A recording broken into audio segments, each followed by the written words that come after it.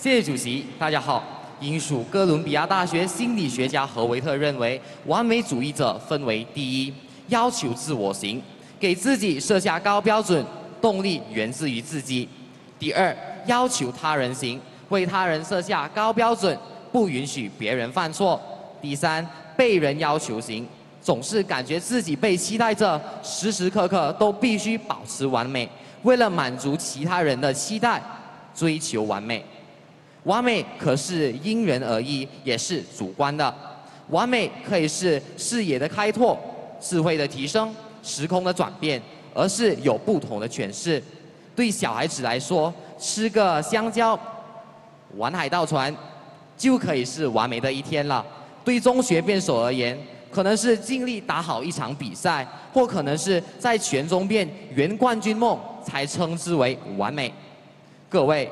追求是以积极的行动来达到目标，追求完美就是用尽心思做到最好，以完美为终极目标。提醒对方，应该追求完美不等同于强求。要求人类直接挥动双手就可以飞上青天，这显然是强求顽固。追求完美反而是寻求更加适合的手段达到目标。究竟人应不应该追求完美呢？就得看过程中追求完美能否塑造更持续性的推动力。结果上，追求完美能否达至理想目标？人应该追求完美，因为第一，完美是立足于不败的永恒目标，是正面的方向，应该追求。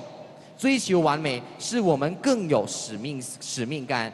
更有动力去尽力而为，做到尽善尽美。也因此，当我们拥有目标，追求完美，是一个不断完善化、不断进步的动态过程。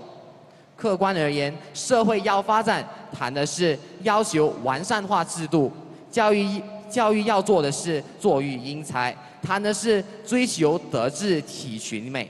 这一切不就论证了人更应该追求完美吗？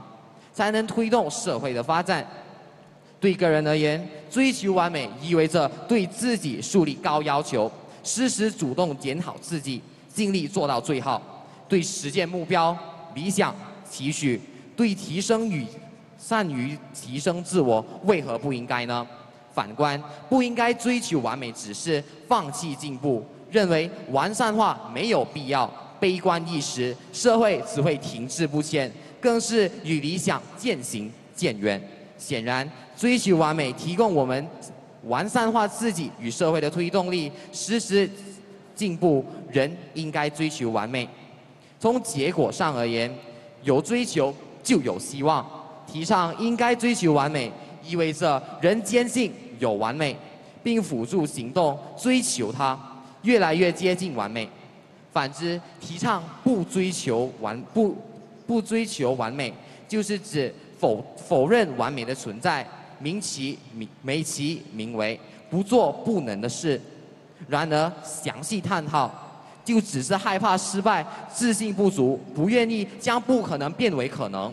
打个比方，就因为坚信能够拥有美有美美满的婚姻，即使发生口诀，也只是床头吵架床床尾和。追求婚姻路上的完美，为何不应该呢？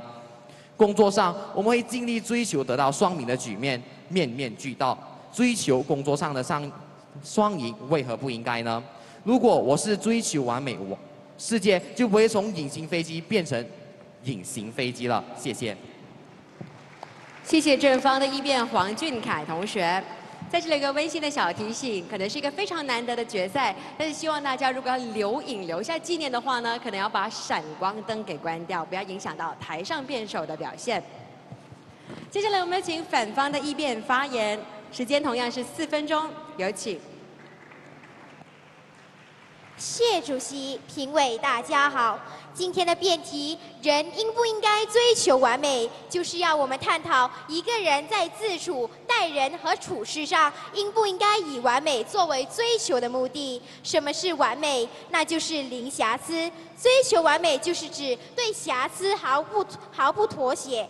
妥协。追求完美的过程，就是一个不断寻找瑕疵、不断毁灭瑕疵的一个过程。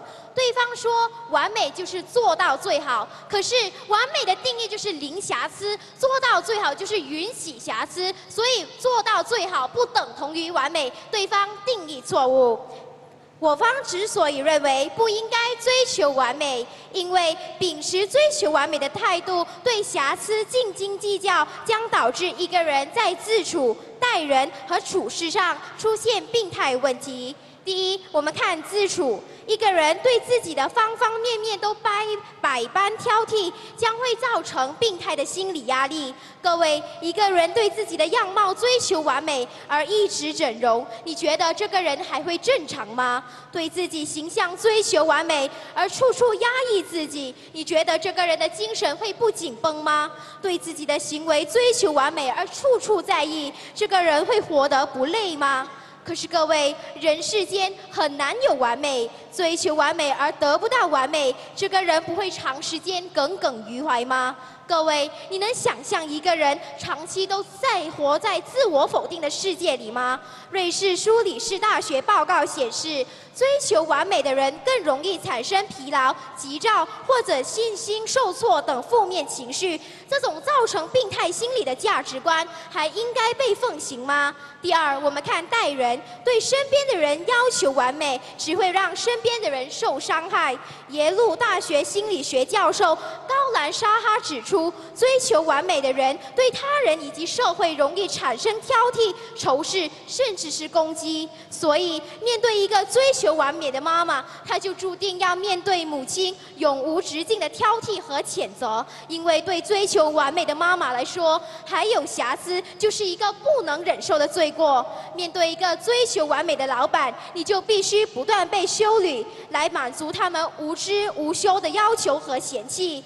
面对一个追求完美的丈夫，你希望他能对你满意，你就注定要一辈子追逐那个永远追逐不了的完美。所以，加拿大哥伦比亚大学心理学家休伊特就指出，追求完美的人，婚姻一般会遭遇失败。各位，对身边的人追求完美，很多时候都会让身边的人受到伤害。这样的待人之道，应该被推崇吗？三，在处事上追求完美未必会带来进步，反而可能会让人中途放弃，甚至是带来毁灭。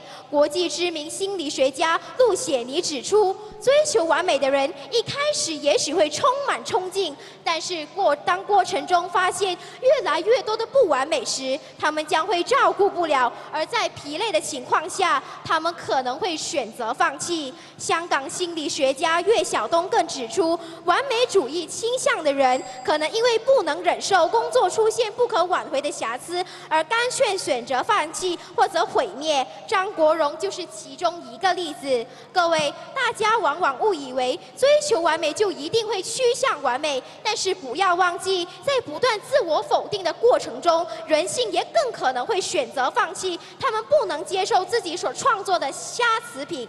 因我，所以我们推动的是，应该是追求突破，或者是追求进步，不应该追求完美。谢谢。谢谢龙杰威同学。